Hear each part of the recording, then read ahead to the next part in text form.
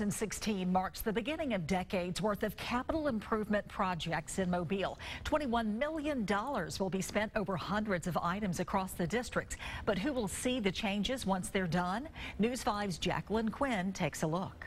Old roads, broken sidewalks, and drainage issues, all concerns of the city of Mobile has waited decades to fix. One of the longest standing complaints in District 1 regards open ditches. Work will begin slowly to close each one one by one. Water stands throughout the summer in those ditches. They have snakes, mosquitoes, all sorts of things uh, living in those ditches. And the smell, because the water is there year round. And in District 2, where sidewalks have been a major issue, repairs are on the way. Uh, there will be more monies allocated for street resurfacing and sidewalk improvements in District 2 than any other district in the city of Mobile. We're proud of that.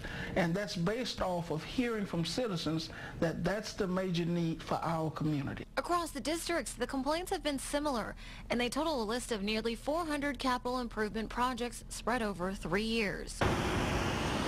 One of the bigger road projects is Old Shell Road near University. About two miles of this will see a facelift. And at South Ann, a portion of the road will be dug up to fix the drainage below to reduce flooding. And then the surface will completely be redone.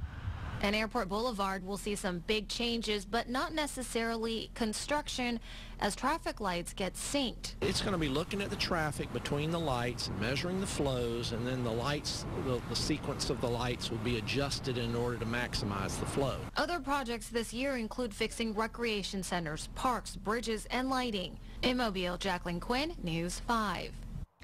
Although these projects are underway, Mobile council members say they're still asking for feedback from residents on future projects.